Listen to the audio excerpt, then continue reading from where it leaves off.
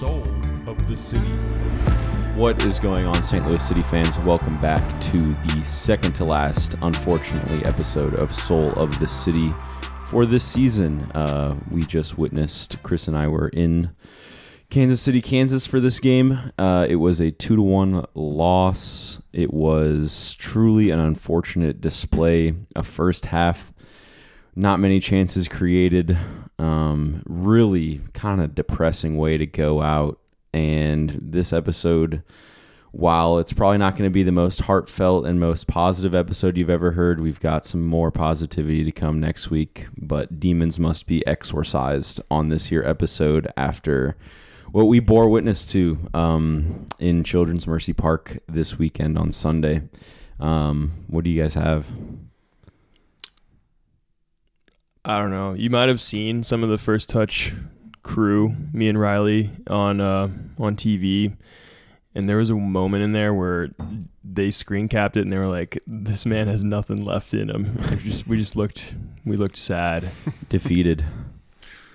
Yeah. Um, we started off the game way better than the first game. Um, and I think the second half too, we had a few.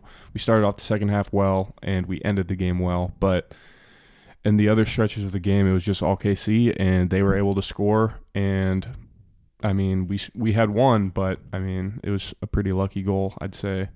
Um, so yeah, just disappointing. We never looked like winning this series in any of the games. At any point, No, it was just really just flamed out. 180 minutes of just sadness. And I mean, truthfully, it's been like 500 plus minutes of despair for St. Louis City over the course of a month and a half. I mean, Yeah. we've scored two goals in almost two months, and it is just it's we've really fallen apart in our in our at the end of what was a extremely impressive season that we were extremely happy to be a part of.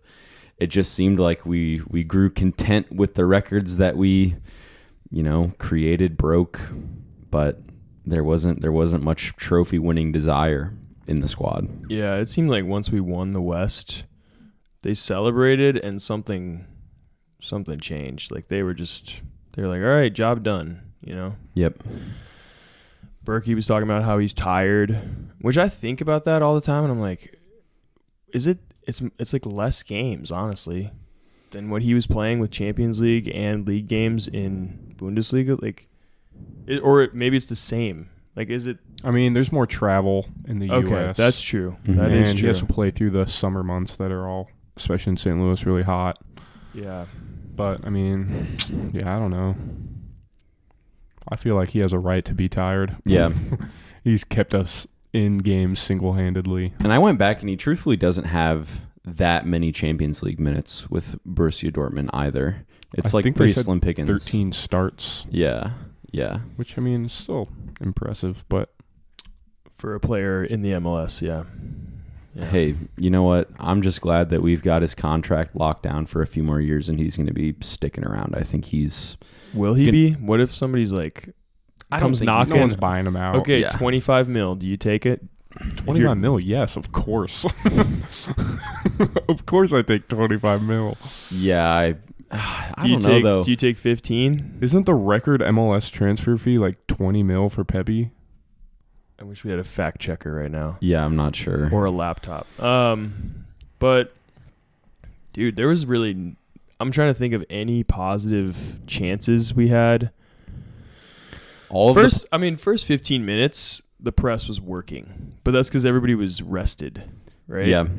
I would say even more than that, I felt like Indy Vassilev was playing fairly dangerously, dangerous enough to where he was drawing fouls and creating a, we had a lot of free kick opportunities in Mhm. those first 15 20 minutes. And Löwen did uh, his best to kind of not put any any good delivery in today. Yeah. I, I really felt like that was one of his worst like dead ball delivery games ever. He had there was one corner late in the game that was literally shanked out. I did so I I went back and watched the full game. If you go back and watch that moment, his plant foot creates a divot like the size of his head. Yeah. Like the ground gives out underneath him. I did see that as so well. I I went back and I will give him some some slack on, on that. That specific one, but it's true the rest of his corners were all terrible, and, And his we free had- kicks were all terrible. We had quite a few. I wish. Let's look up the number if you can pull up the numbers on that.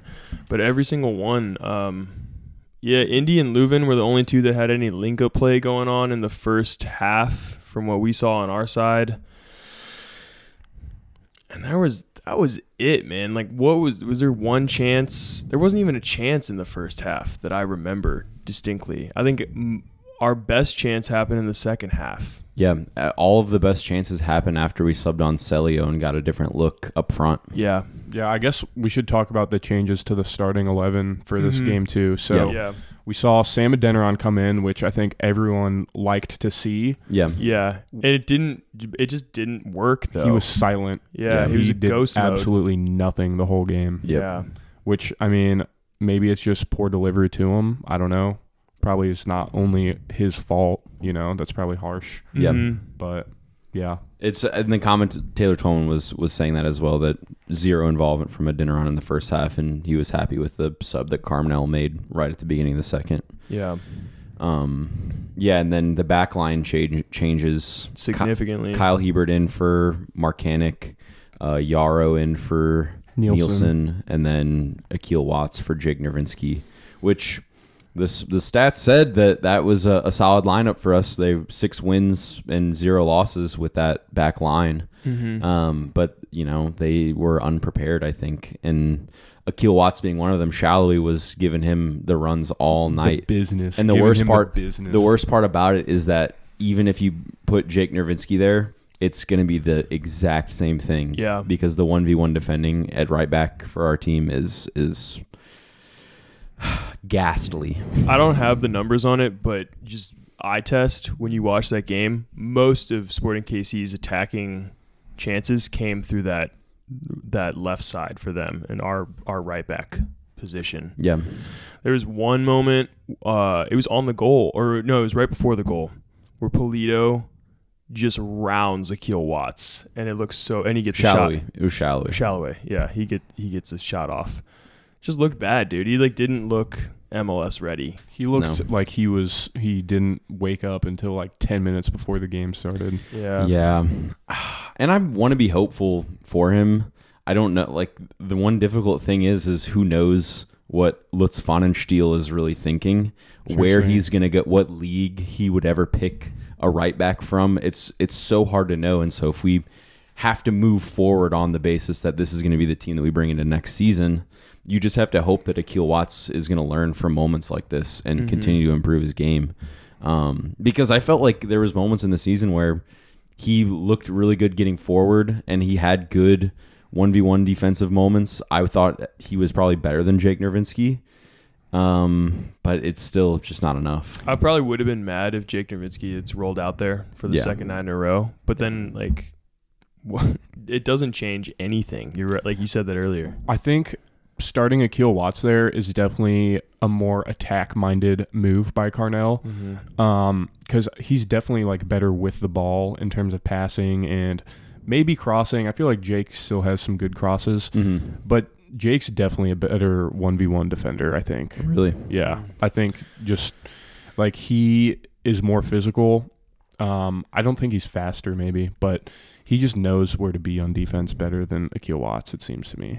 I feel like we're comparing bottom of the barrel fish right now. Yeah, like probably. Yeah. pick your poison. And you Yeah. kind of want to bring in offensive minded because when you're taking out Markanich for Kyle Hiebert, you're Yeah. getting 1v1 defending. And we Yeah. saw that Johnny Russell maybe only beat Hiebert one time that entire night.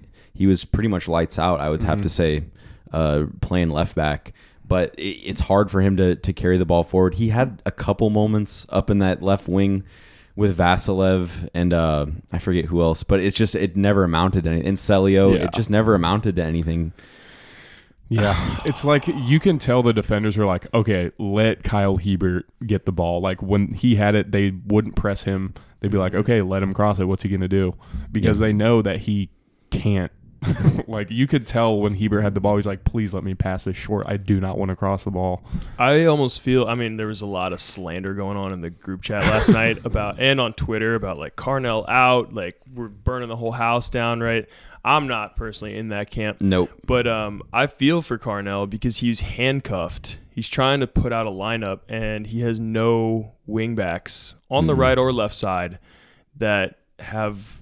They either have attacking prowess and they don't have defensive knowledge or like ball control or ability to one one v one defend, or they have one v one defending and no attacking prowess. So you're handcuffed. Like, Yeah. what do you do? You're you're, you're like trying to to play with your hand behind your back.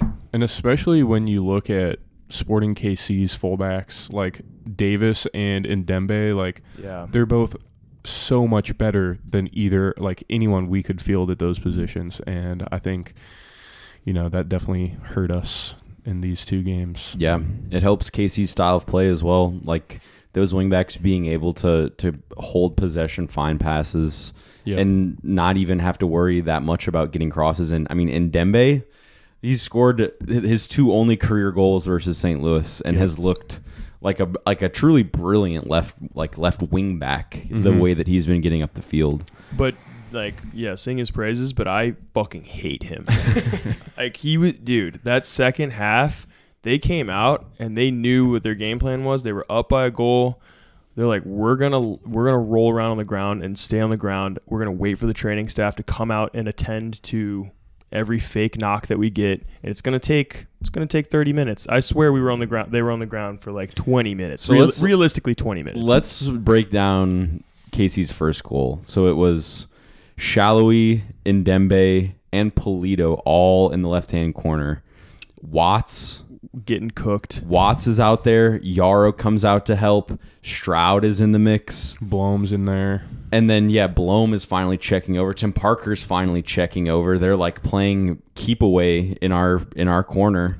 Ultimately, Ndenbe like breaks out to the top of the box. All space. Pulido plays him a beautiful ball. Blom is just watching Pulido with the ball. He breaks free, Yep. slots it back post. It was a great finish. Yeah, Yeah. Matt, uh, some absolute Matt Doyle, I think his name is. He's some MLS pundit said that I that Bürki says that Bürki saves that at the No. beginning of the season. No, dude. That's difficult, man. That's that's just he was wide open. He's inside the box. Like He picks a corner it's like on a tee. It's in the side net. yeah. Low, hard driven. Like what are you gonna do with that? No way Bürki's saving that. That We- dude is an absolute fool. I'm sorry, and we have definitely contributed. St. Louis really has dug themselves quite the uh, internet hole, the internet grave, you could say, uh, for themselves for this moment, and it has shown brightly that not just Kansas City, not just Chicago, Cincinnati hates our guts, LAFC hates our guts. Nashville definitely hates first touch media. They hate First Touch Media, but they did actually sing praises of St. Louis on Twitter. So Okay. I- I'm hopeful that they have forgotten about that moment in our inaugural season. It was just Uh, a misunderstanding. Yeah, It it, truly truly, was. It truly was. But um, man, like St. Louis was punching. I feel like St. Louis was punching above their weight class all season long. Hey, but at least we were punching up, you know? Yeah, Better to punch up than punch down. I agree. Yeah, um God, it just hurts so bad. it was terrible to get blown out at home and then you have to like we went out there to Kansas City and it's I have not seen and if anybody knows of any away fixtures where thousands of fans from an opposite MLS team travel I feel like I've never seen that in MLS before when you go onto the live feed and you just see an entire section of the opposite team's colors.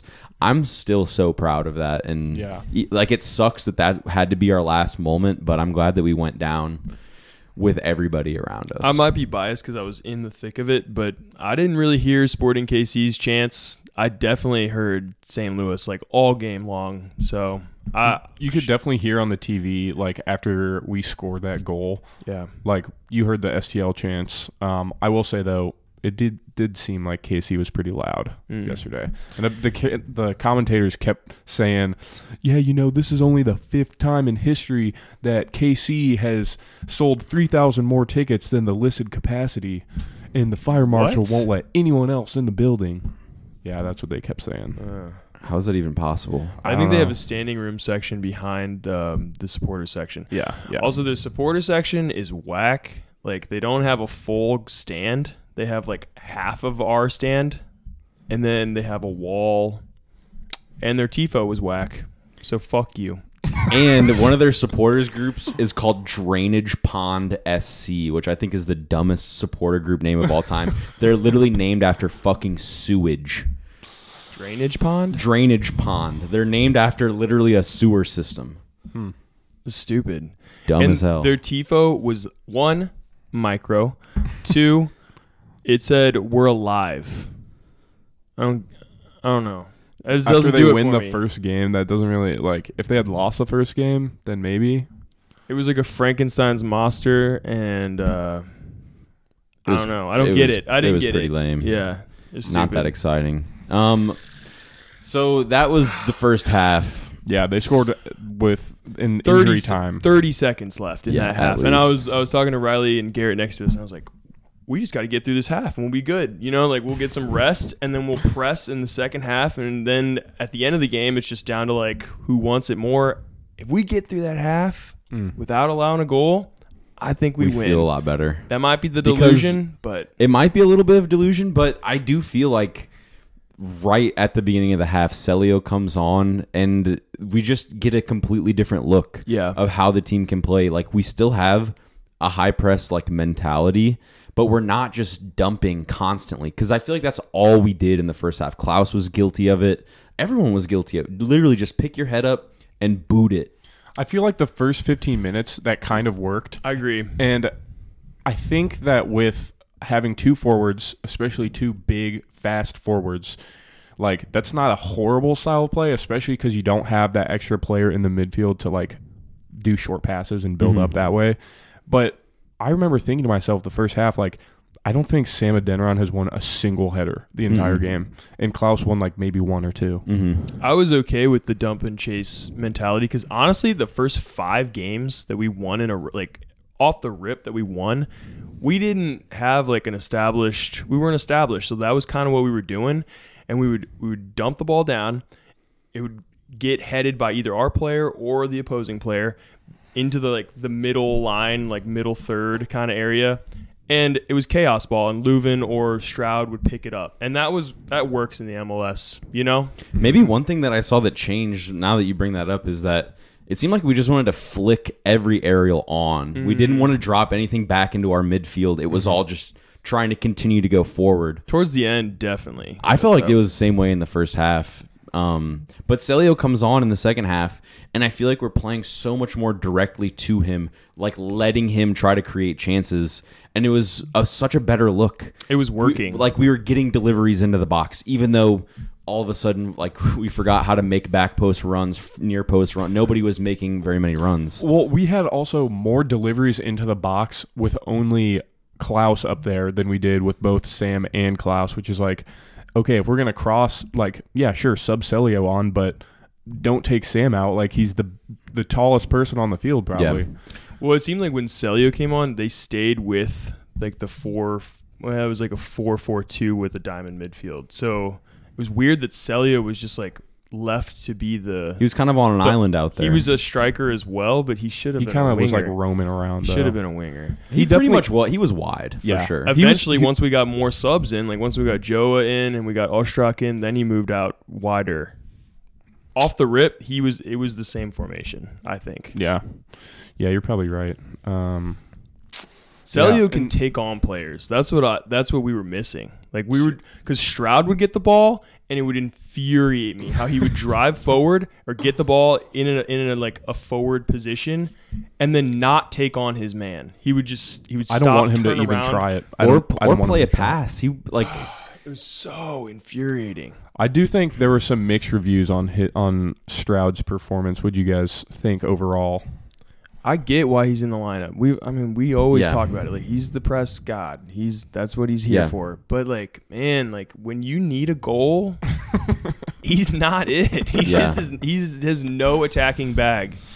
Yeah, no, I think that's a pretty good summary, honestly, because he was definitely putting in the work um, Yeah. for the press, and I think he won the ball back pretty often. Um, I don't know, but yeah, it's just everyone was saying like I was watching with Marlon, and both of us were like, we need to see Gioacchini on for Stroud Yeah. immediately second half, and that eventually happened. But I would have liked to see that at 45 minutes. Yeah, I, I would have been here for it too, and that's why that's why I feel like Celio was such a great substitution because I do feel like when like and it wasn't always like this either. It's just been this last span where like if the two of them are playing together, it is dump and chase, and it's like there is no like attempt to create any kind of solid through ball. It's always just hoof it up. Mm-hmm. And with when Gioacchini comes on, it's like I feel like it's refreshed and we get some different looks. We're, we're trying to play through balls on the ground, like split lines,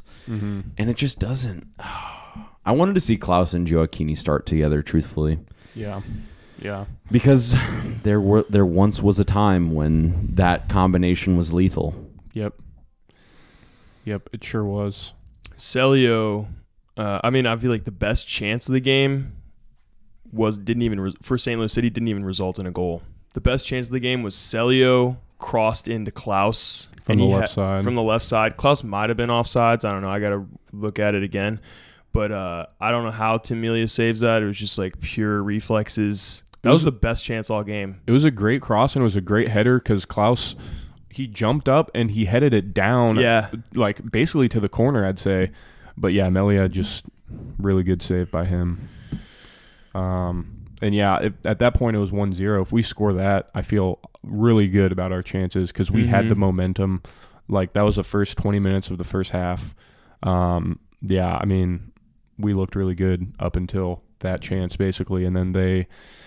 It might have been the very next play. They came, they came back immediately. Yeah. yeah.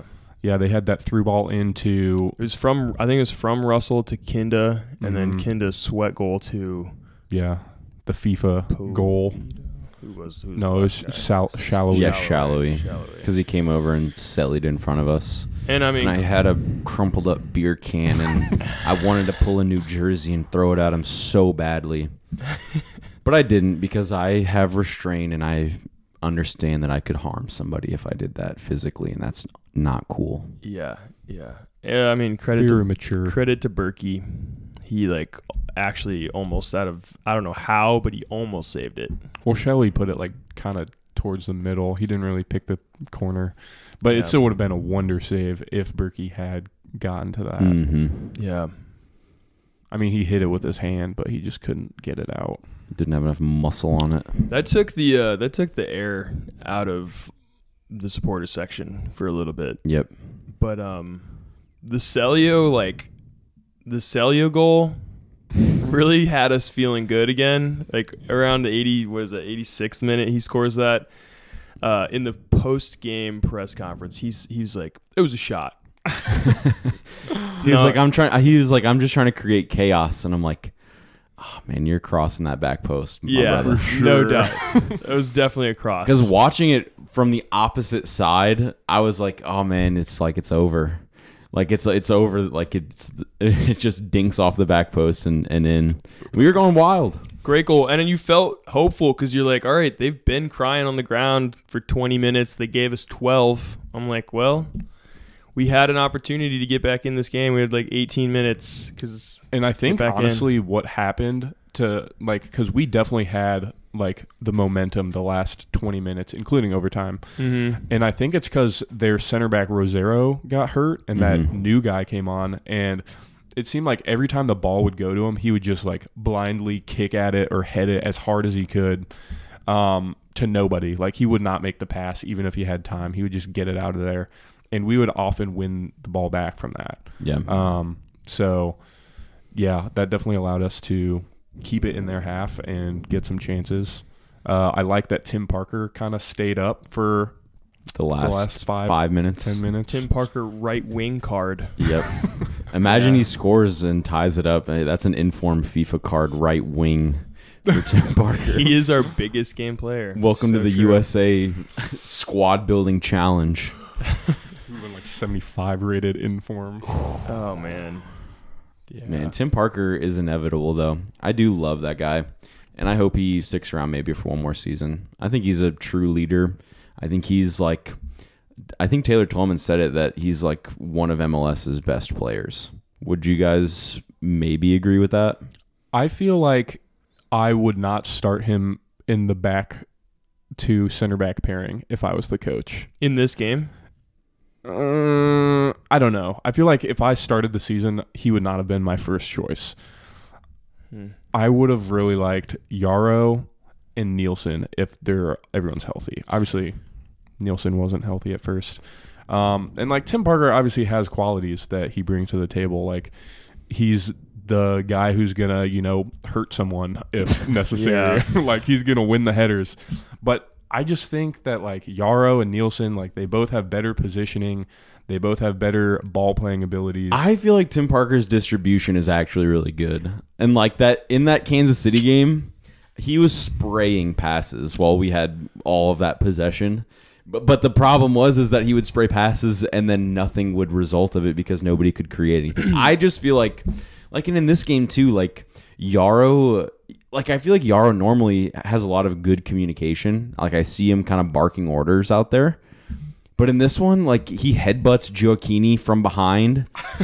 yeah, In that moment, I was just like, he really did not have that great of a game. I, he he looked kind of unsettled, and then there was the man that first uh Ndagby goal. What's his name? Ndagby. Ndenbe. Ndem- Ndenbe. That Yeah. first Ndenbe goal, he's like, he just can't shut it down. I just, I mean, I can't be upset with what Carnell put out there. I still think that he's second best center back option. I feel like Nilsson is good. He just really, it never panned out for him, unfortunately. I think it's because he didn't get a full season with the squad. Yeah. I also think it was a of it. whole thing of form. Like I don't think it was just him. Like the commentator the first KC game was like, "Yeah, Nilsson has played the past seven games and we've only won one of them." yeah. And it's like, That's a- okay, yeah, that's kind of cherry picking a stat. I agree. Like it's Yeah. not just Nilsson's fault. It's like, true. The entire team But also Tim Parker was two for seven accurate long balls in this game. in this game. Yeah, that's pretty bad. And That then is bad. Bürki was ten for thirty-two accurate long balls, and I felt like Bürki. 10 for 30. yeah, I was going to say uh, uh, that was my next point. Is Bürki was doing a lot of the dump and chase distribution, Yeah. especially towards the last twenty minutes of that game because Yeah. everybody was pushed Way up. up. We put Ostrak in, we had Celio in, we had Joa in. Like it was all hands on deck. And there, there would be the occasion. There, I remember there was one Bürki long ball that he pings like basically to the other touchline, but it stays in slow rolls to Klauss, Mhm. who goes to play a back post ball, but And nobody's there. there. Nobody's there. Yeah, there should have been Celio. hmm but, but- also he's like probably the shortest person on the field. So yeah, even if it does make it to him, yeah, I don't know. Hmm. hmm. Yep, that's the end of our season, just like that.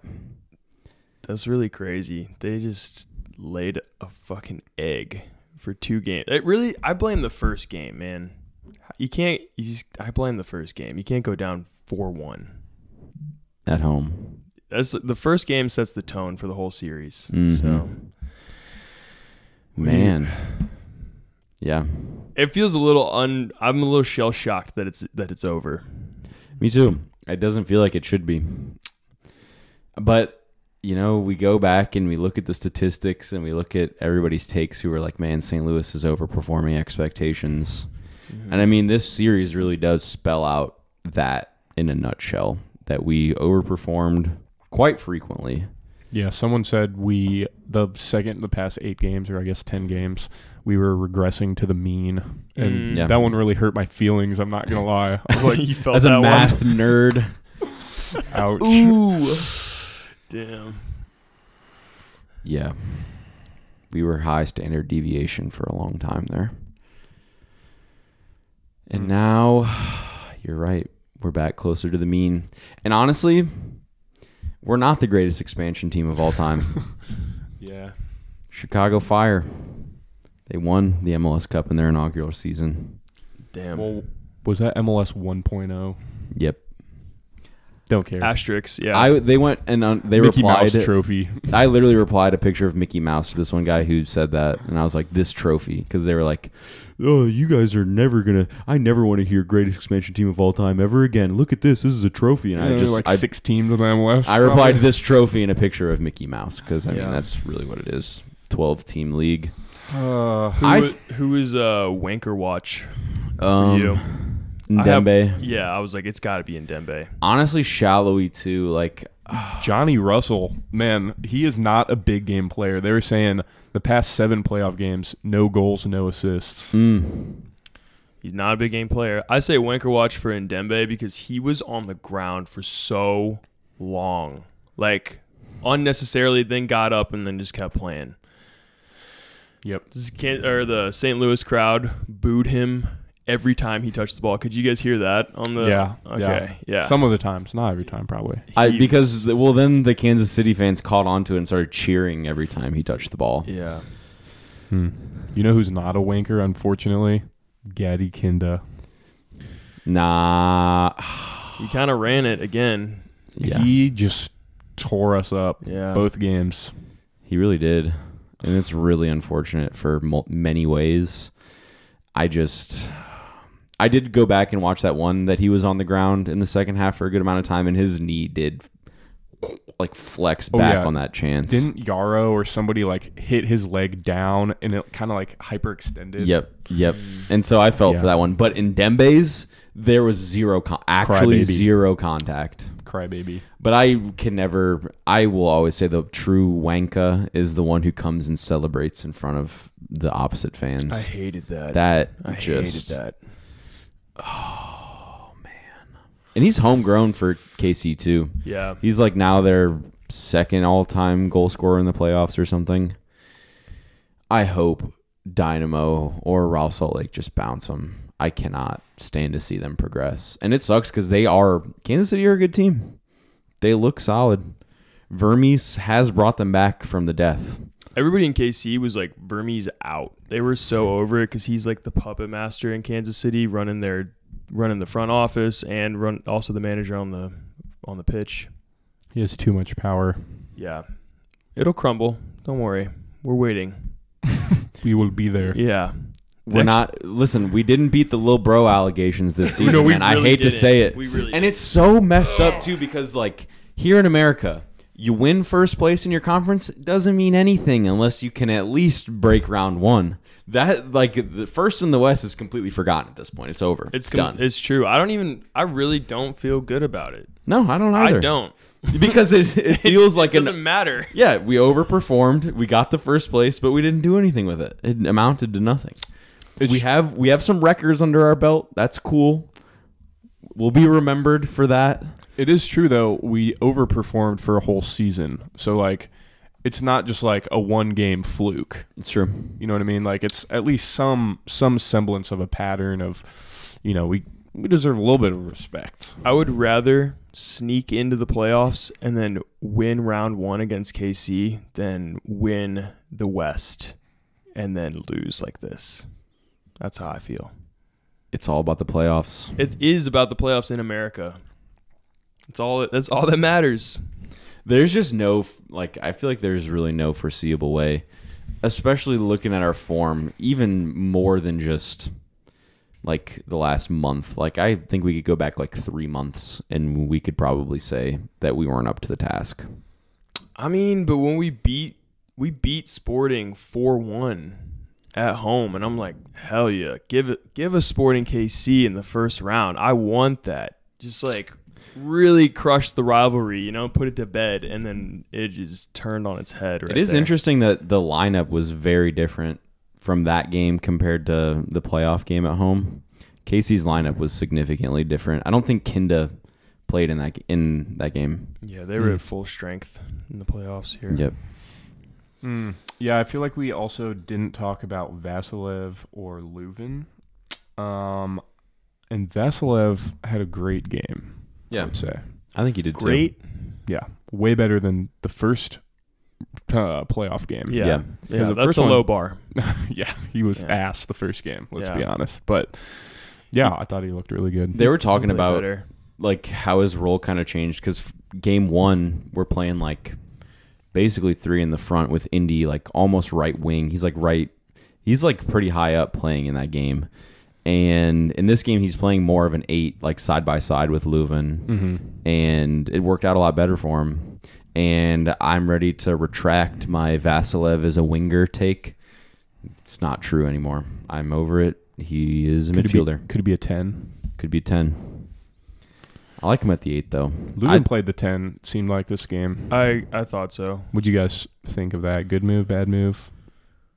I mean, he's like I, f- I feel like on paper you think that's a good move, and then he like didn't really create. Yeah, he did not have a great game. Yeah, he Mm-mm. didn't. He didn't. He got a yellow card early on, so I think he was kind of playing Mhm. scared for the rest of the game, and then. I don't know. Even the shots that he did take were just skied, or like the delivery that he he would put into the box was was hit too hard, and like uh, it just didn't work. Didn't work. It didn't. No, two for eight on duels. Like he does try to like. I feel like earlier on in the season he could get away with like beating a man, maybe beating two, and then playing it, playing a ball. But he did not look up to it tonight. Yeah, he had or- one chance created, five shots off target. Yeah, when I look at this squad and how, like I said, we're playing handcuffed, it really draws into question. Now, I don't.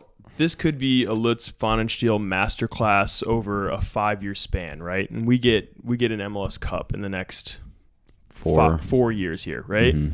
And that could that could be the possibility. But in the first season, you have three designated player spots. Why don't we have three designated players? Yep. especially whenever you go into this game and you're like having to pick your poison at right back or left back. Would you want to use a DP spot on a fullback? With the way that we've been playing, I feel like the answer is yes. It's tough to say Because a lot of the game has been running through the fullbacks through the entirety of the season. if you're going to keep playing a 4-4-2 like we have. with a diamond. yeah. Yeah. I Fair don't know like I just I we were talking about this leaving the stadium. I keep thinking back to um I think when the when the transfer market was still open, we had asked uh, like on the podcast what position we would want to bolster. most I said right back, I'm pretty sure. I, I'm I don't think I think it was you, Ian, and Milo, and Ian felt like Akil Watts was serviceable, and that he would rather go after a winger. And I think we've seen it now that I think the right back really does need help. Yeah. It'd be cool, and we'll probably touch on this next episode more about like what we want to see next season, like who's gonna who's gonna become like a bigger have a bigger role next season. But it'd be really cool, and I see a potential for Kyle Hiebert if he works on his offensive game and he wins a right back or a left back spot. I literally don't care which one it is, but like if he can work on his crosses and his offensive game a little bit, like he's got a really solid foundation as a defender, Yes, as a one v one defender. Yes, Like there's potential. I don't want to see him leave Is in he- the offseason. I don't know. We'll have to look at his contract. I don't think his contract is expiring. okay. Is he right footed? I want to say he's left-footed. I'm unsure. on- He's, he's a defender. You can't tell what, Yeah. when how he passes the ball. yeah. Um, he really does have such solid potential. I agree with you on that wholeheartedly. That if he can get an offensive bag together, like he can, he will be starting left back for the entirety. And it's crazy because he was he was most state center back. Like he was, he played centrally, and that's how he started the season. We moved him out there after John Nelson shit a brick, and he looked so he looked good. I think it's a testament to St. Louis City. Like it's early on, right? But it's a testament to St. Louis City's development that they had they started three MLS Pro uh, defenders That's in very a true. playoff game. That's pretty crazy. That's so So- positive too. It's Yeah. it's such a Lutz Pfannenstiel mentality. Let's get some young guys, some development players. Let's let's give them a shot. Yeah, It didn't pan out, of No. course. But I mean, hey, we, we gave them their shot though. A for effort, A for the idea. Uh, this is already too positive for this podcast. It's supposed to be all negative. Come on, no, we can be positive. Sometimes the cup is half full, even if it's half empty for the first 35 minutes of the episode. What uh does anything win us that game? Literally anything like If Celio starts, if Celio starts out the gate, like starts the game, do we win that game? Am I grasping at straws and I'm just like I feel like if Sam com- comes on against tired legs, that's uh, better than what he was doing, mhm. which was nothing the first half. Mhm. Um, maybe Gioacchini in there instead of him. I don't know. It's hard Joe to say. Joe was super underutilized. Like after Leagues Cup, after Klauss came back, Yeah. super under underutilized. Yeah, that shoulder injury. After that, it's something I, I don't know what happened. Yeah, it just seemed like he was like the third choice for a really Suddenly. long time. and I mean it made sense. Adeniran like, He was in form. yeah, super in form. hmm Klauss is the guy, Klauss is him. guess. Man, We were just not good enough. nope. We just weren't Not enough. creative Our enough. team was not better than Sporting KC's squad. Mm-mm. I have a question. Nökkvi Thórisson. Is it too early to consider him a flop signing? Yeah, Probably too early, yeah, probably. but. what? What do you think? Yeah, what do Yeah. you think? I think he's the flop. We haven't. We like barely saw him he though. barely touched. I mean, every time he came on, he looked very underwhelming to me, and I think it's just like we've been so bad the past few weeks, and he hasn't had any playing time. So it's not like the coach thinks he's good enough to like change our fortunes. Yeah, yeah. Um, was he in the squad last night? I saw him shaking hands after the game. So yeah, I think was he was was. I think he he was on the bench. he was dressed. I mean, he Yeah, the- he was available. It's probably too early to tell, but I probably agree with you that what we have seen, it's been lackluster. I feel like Markanich looks good. It's just again like some of the defensive lapses is it it, it needs help. Mhm. Backline needs help. Do you think um if Alms if Alm is healthy, does he start this game? Yeah. I don't know. He hasn't played in so long. It's been like months. Yeah. Yeah. I don't know though. It would be like I would be extremely interested to see us play a 4-3-3 with Celio and Alm. Like I agree. I, I we think hadn't seen that. We've never seen that. Nope. that is what this play style should be played in. Mhm. I believe that's the best like formation for it. give me some pe- give me some Pep Guardiola 433 I man. mean, that's the thing is that's like some Jurgen Klopp gegenpress four feet. that's exactly what I was gonna say. Is Yeah. like all of the high pressing Yeah. teams in Europe, they all play a 4-3-3 with Leipzig attacking. plays that. Liverpool plays that. Yeah. And it's like I guess maybe you need better fullbacks to like push up higher Yeah. and maybe Help you play out of the center back as well. Yeah. Yeah. Um that's the only thing I can think of. Maybe like, you just need more quality in the midfield, like because you have to cover more ground. I mean, think about this though: Celio, Alm, and Klauss up top, and then you have Löwen, Vassilev, and Blom in the midfield. I Like like that. they can hold the ball, they can pass the ball. They but can. is there too much space for other teams to work around us, like cut through the midfield? Like, does Gadi Kinda just like slice through that?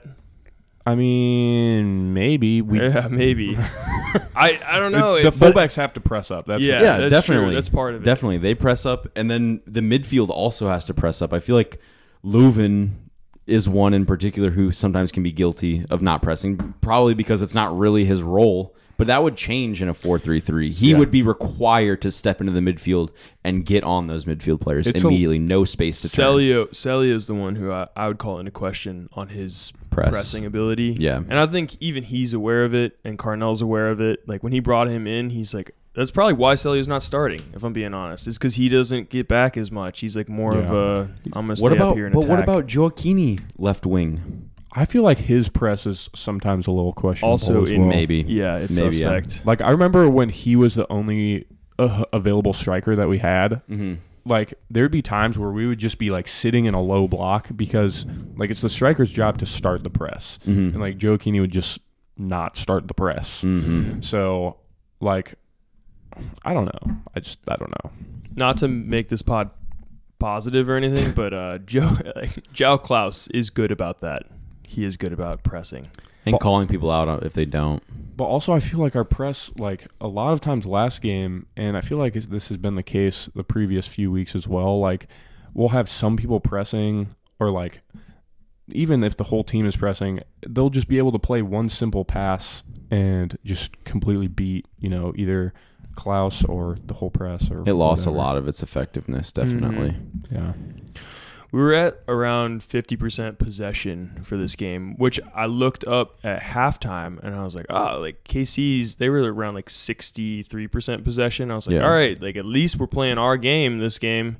And then by the second half, um, uh, I mean, Second half, I'm not going to look too much into that Yeah. because we, we were trying to get back in the game. But yeah. Well, we also like they just couldn't keep the ball the second half. Like Mhm. I- that was good possession that we had. It wasn't just like the first game when we were passing it around the back in our own half. Mhm.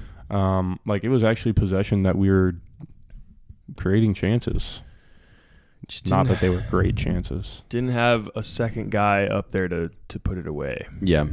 Yeah. Oh man, and and I feel like Blom has been a little inconsistent over the last three months as well. Like he's still he's still had those games where he really shines playing the 6 Mhm. but he's also had some disaster class moments where he just doesn't look up to it. He doesn't look like he's going to be gritty enough to to stay in the midfield and Did win you- the ball back. Did you feel that way yesterday? no, I feel like he had improved. I mean, yeah, there's that one lapse in judgment. that Um, leads to the goal. Yeah. but I feel like overall he was still pretty good. I agree. Yeah, he had an assist, but that was also kind of lucky. Yeah. But they moved him. They moved him to right back at the end of that game, and I was sitting there. I was like, ah, like what if he's our right back next year? And then we kind of had a little conversation about that off air, but. I I can't justify that. Once I thought about it during the game, I was like, I can't really justify taking Blom out of the midfield. The only way you can is if you bring in another defensive midfielder who's like same profile, maybe a little bit bigger. But I I did like because we've seen him there a handful of times, red cards and things of that nature. He's he's filled in there, Mm-hmm. and he's looked good. I'm trying to remember what game it was where he was going absolutely crazy at right back after he got sent off. I think we probably still lost away from home. I don't remember what game it was. Um, but I feel like his ball control is really good. His defense is really good. I feel like a lot of his delivery, like just passing in general, maybe not Link crossing. Yeah. Yeah. link up play, I feel like is good. Uh, I feel like he would be probably the best. Like if we could clone him, I would start him at right back and at CDM. I think he played right back for Kaiser Chiefs. Yep, and I think on the national team, I think that's where he'll go play. Hmm. Yeah. Yeah. He's uh I hope we can hang on to him Yeah, for next year. he's got two years Wasn't on his Everton? contract, Everton was looking at him. Uh, that was a rumor. Yeah, I don't know. supposedly. Fuck Crazy. off. Yeah, I don't know. He's not quite up for the prem yet, but Yeah, no. I think also part of his like I don't know off games. Like I think he's just been tired. Like he's played so much, so Yeah. many of our games, so many minutes. It's very Um, true. I think about Löwen in that respect too. Yeah, He's really just carried this team. He had not a great game. He just had such Yeah. a bad game. yeah. Everyone's both gonna get them. their month and a half of rest, two months of rest. Well, we're playing Champions League football next Starts- next year. Starts in starts beginning early of February. February. So like you don't get that much rest. A month off. I don't Well, want to no, go out there and get November, December, embarrassed like you like get like three months. Austin FC did. All I know is Lutz sitting at home on his computer right now. Bundesliga 2. Look at that sign. Pulling up just random leagues and just finding that next that He's next on YouTube player. watching highlight tapes. Yep. He's on Football Manager on his phone, Yes. looking for the next uh the next big. Thing. I think that's needs to be our move too. Uh, is to get on Football Manager and just start doing research on all these players, try to help out. Yeah, Uh, we'll just start DMing Lutz all the players that we find. Like, Yeah. hey, maybe sign this guy. What do you think? maybe we'll do a midwinter, like maybe New Year pod, where we're like, all right, these are the players we've come up with. what do you think? And then we invite Lutz on. And we're like, all right, have you looked at these guys before? Yeah. I Yep. think you should. We'll get on a yeah a FaceTime or like a uh, yeah Skype call, Zoom call, and we'll record it. That'll be an episode. Let's if you're listening, expect a phone call soon. um yeah, it's it's a really unfortunate way to bow out of this Yeah. season. I think in Um, ten years I'll look back on this and be like, wow, like what a great start t- as a like MLS career for a team, you know. But right now, this is terrible, and St. Louis is mourning, and I blame the players. Definitely no Carnell out. If I see that Yeah, take on Twitter that. again, you're dumb as fuck. You're so stupid. Carnell not out, but I do think, and I, I'm sure he's got it in his bag too. Like we understand that we're a pressing team, but you, you can't be one dimensional. To win the league, you got to be able to. If let's say like Sporting KC or another team ends up taking, letting you have the ball and having possession, I would love to see that aspect of our game develop. Yep. Yep. Carnell has given the team an identity, and I don't want to just break him off and bring somebody else And He's gonna nobody's gonna have any idea what's going on. Lutz isn't gonna be, be able to communicate his plan. If we want to keep Lutz around, we're kind of gonna need Carnell, his first head coach, to stick around for as long as Lutz is gonna be around. So I see him being here for the kinda- foreseeable. It's kind of the problem that Chelsea has um, with just changing coaches all willy nilly, Mhm. changing players all willy nilly. Like, if you have a consistent game plan, I feel like you can't do too bad. Like, It's o- it's overused and overstated, but stick to the principles, and that's what that's what Carnell says all season long. It worked for a season. I think that the Europeans need to understand what a playoff match is. I don't. I think they're they were caught off guard by that. like Yeah, no idea. What do you mean playoffs? Like- season doesn't just end. I thought we finished first, and that's it. we need like a motivational speaker who's had an amazing playoff career. I wish Kobe was alive. He could come oh, back, talk to the lads. Mamba mentality. Big time. Job not done. Job not finished. Yeah. Yeah. Rest in peace, Kobe Bryant. Well, that's a really depressing way to cap off this episode, I think. I mean, it's It's- fitting for a yep, depressing fitting. episode and a depressing end of the season. Yep. Man, I still love this club, Yep. but you you hurt me. I'm hurt. We've I finished. I think I was the only one to go to four away games. I, we lost all four of them. Yeah, that's a tough look. Oi. All right. Well, um, we'll be back next week with a more upbeat episode that's gonna have like a more holistic view of the season. I think that I mean you can listen to all the 500 St. Louis City podcasts that are out there, and they'll probably be like, "Well, we did a great job." That's not us. Like we're we'll, we'll tell you that this was a pretty terrible way to end it, and we'll keep it negative for this pod. But uh, next next episode, we'll probably go through some awards, see who we want, who we think is going to be most improved, talk about who we think we should sign, some DPS.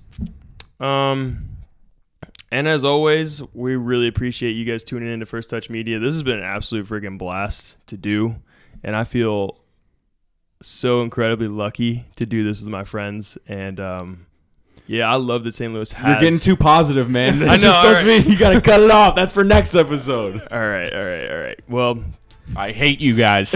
Actually, this has been an awful experience. I hate talking about when we lose. yeah. All right. That's all we got. Peace, Peace out. Thanks for joining. Thank you for watching this episode of Soul of the City, brought to you by First Touch Media and Anchor FM. Make sure to check us out on YouTube at First Touch Media, and all of our socials are at First Touch 314. Thank you for watching.